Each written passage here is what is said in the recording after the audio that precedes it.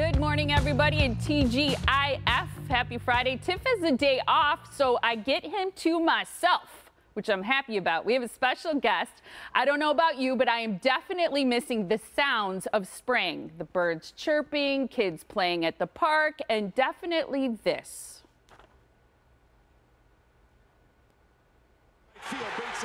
Polanco it. Here comes Lyles. Throw to the plate, and the Brewers win!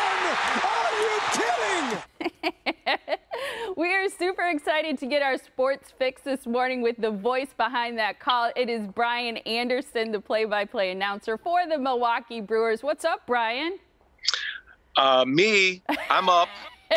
you know what? I- I'm I'm impressed you just knew what day it was. TGIF. I had no idea what day it was. I don't know what month it was. And who gets a day off right now, by the way? You're solo today. Uh, yeah, I'm solo, Tiff's off, but I'm okay with that because I get to do the whole interview by myself. I, I saw a picture of you just before we were going to be on in, our, in my monitor, and it looks like you've had a haircut. Do you have an underground salon you've been visiting? Oh, you know, that's a beautiful thing about, uh, you know, my wife, who is uh, very talented, multi versatile. She has her cosmetology license from way back. She was a school teacher for a long time. So, yeah, we, we got it. We got in-house uh, applications on that matter. I finally got a haircut. I, I hung in there as long as I could. Last time she cut my hair, she was pregnant. My daughter's 20, and I thought that she's a little too close to some parts of my face and neck that with those scissors that I was comfortable with during those pregnancy years. I can't believe your daughter's 20. I, I met you Mm. way back when. My oldest is 22. It's incredible. Um, so how have Yep. you been doing? You've been the, the Brewers TV announcer for 14 years. There's your beautiful Mm. family. I think your daughter and your wife are absolutely gorgeous, by the way. Yes, I agree. Yeah. Um, I so agree. How are you doing? Good. Everything's great here. You know, we um, obviously when I s- stopped down, I was at the Big Ten tournament in um uh, second week of March. I think that was March 12th. I'd done an NBA game in San Antonio in front of a packed arena for TNT. Flew to Indianapolis for the Big Ten tournament, and that's when everything just kind of stopped. Uh, March 11th, the news came down. March 12th, we were actually at the arena ready to call the game in Indianapolis between Rutgers and Michigan, and then uh, we were sent home, and I, I've been home ever since. Um, just kind of quarantine. I took about eight days and quarantined there just in case I had it. I had been to spring training. I'd been to LA a couple of times for NBA games. So just I was really cautious uh, in that time, and then I've been home ever since. And I, I've been doing a lot. Actually, we the Brewers have been great on the social handles. We've done all kind of entertainment. Um, events. Uh, we had the Brewers virtual happy hour last night. I've done a lot of voiceover work for other companies, and um, so it's been somewhat busy, different busy, but somewhat busy. I've really enjoyed being home though with my family. That's that's probably the main takeaway. Yeah, and you're not usually home in the spring, so this Right. is unusual for you.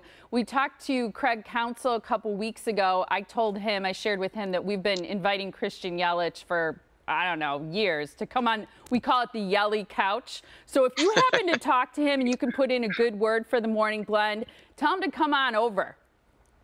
You know, I'll do that for you just because I like you guys so much. Uh, he is in LA though. That's a that's an early call for Yelich. I think is he's kind of on the teenage hours now. I think he's waking up about 11, 11 a.m. That'd be one o'clock your time. Maybe if you had an afternoon show, that might work. Yeah, Craig said our chances were pretty slim. Okay, so let me ask you about this. Baseball owners have approved a July 1st start. Players not happy about it. How do you see things playing out? Yeah, I don't. I think um, what I've been saying is all along, even going back into March when everything stopped down, um, there have been contingency plans. So as you hit these markers, this is what we could do now. Um, and obviously, that line has been moved. And baseball and all other sports, they have these contingency plans lined out until there's a drop dead where you can't play any more games. Um, so I think this is where we are in this phase. This is the proposal that we could potentially get back to playing. Um, I wouldn't say the brew or the, the players are unhappy. I'd say there are some players that are concerned about their well-being, their families, the quarantine issue. Um, but I think everybody is along the same lines of wanting to get back to play. Every player I talk to is eager to get back to perform and to play. Um, so I think it's moving in the right direction. Unfortunately, the negotiations are kind of out there in the public. There's a lot of scoop going on and a lot of uh, leaking going on. Uh, probably would be best served underground for now until they can walk out of the door with an agreement. But I think it'll get done if if in fact they decide to play. I do think it'll get done. I'm not worried about that so much. But you know, July is kind of the target that I'm hearing as well. But that could always be bumped down the line as something happens. If there's another outbreak, if if, if uh, a few players test positive, then everything changes. So just that we've never dealt with anything like this before, and trying to figure out how to make this work not just from a player perspective, but from a broadcaster and broadcasting perspective, is a challenge as well. So all of those discussions are ongoing. Yeah, yeah, it, that totally makes sense. Uh, one of the things I wanted to ask you is how you're keeping your skills sharp. I'm surprised how much work mm. you're actually doing right now, but I also know that you've been avoiding getting bored because there's a video I saw of you, a TikTok video. I watched it about 10 times because I think you're so talented. Check this oh, out. Oh, nice. Oh, man. How much did you practice this? Oh, my God. So, this is a Mother's Day gift. So my my daughter was a dancer in high school. She went to Arrowhead High School. They they had an incredible dance team, and she's so talented and fluid, and it's easy for her. And my wife basically said, for my Mother's Day gift, and that wasn't the only gift, but that was one of the the things. You know, Mother's Day you can't say no. So she goes, we're making a TikTok video, and you're going to be in it. So I thought I had it nailed, but man, I had to flame on the choreography. We we did. There was actually another TikTok um, that is one of those Dubsmashes from Dance Moms that my daughter did. Basically, after the 60th uh, time that we tried to record this, she was shaming me in front of the whole world. But yeah, it was pretty fun. I enjoyed it. I had a lot of fun doing it. It was a great workout. I had some serious back sweat going on oh, after I that. It. I was lathered. That that moonwalk was very impressive. I got to say that harkens back to a couple decades, but that was fantastic. Yes. I was impressed. Yes.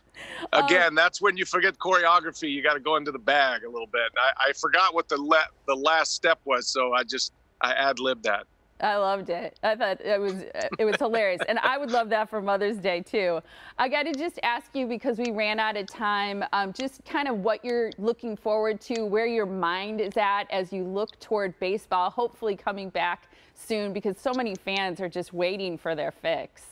Yeah, I would just uh, recommend everybody hold fast. You know, I mean, it's we all want the same goal. We just need to make sure it's safe to do it. And you know, it's it's getting pretty divided and it's getting pretty heated right now. I would just encourage everybody to try to calm those waters a little bit. You know, I'm no uh, great sage, but it just it, it feels unproductive uh, on a lot of areas. And and I just made an appearance at a hospital earlier this week and just to look at the the eyes of those uh, frontline healthcare workers. You know, they're dealing with a lot right now, and and I understand we need to get our economy back, and we will, but we need to do it in a safe manner, especially if you're heading out as we've reopened here.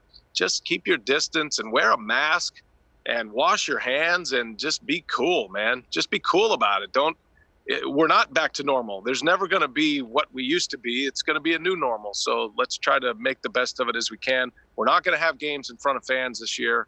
It's not going to happen. So let's hopefully get to the point where we can enjoy sporting events. I'm doing a golf event next weekend um, called The Match on TNT. So that's one of the early uh, pieces that we're trying to put together, like how to televise these sporting events. So just be patient. We're all working at the same goal here. Yeah, uh, I'm glad you mentioned the match, the uh, the champions for charity: Tiger Woods, Peyton Manning.